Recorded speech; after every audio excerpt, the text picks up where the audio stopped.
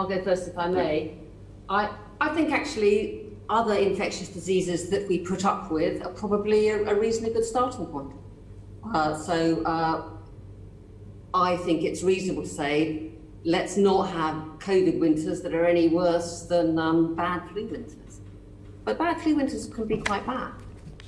Uh, so I, will be honest with you, it's one of the things we have cried out for again and again is, is could somebody uh, in a position of political power uh, tell us what is an acceptable number of infections? And maybe this past year, maybe in 2020, when it was all so difficult, the number of infections and deaths was so high, perhaps it was understandable that nobody would say that.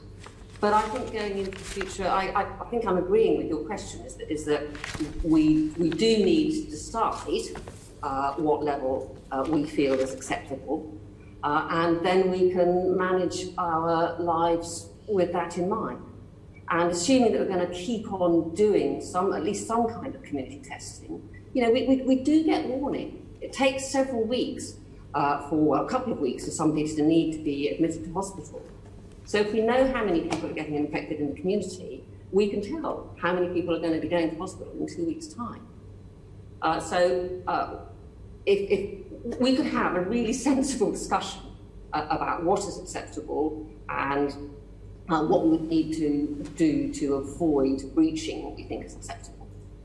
Chris? But that question of what is acceptable is not a scientific question. That is a question for the whole of society,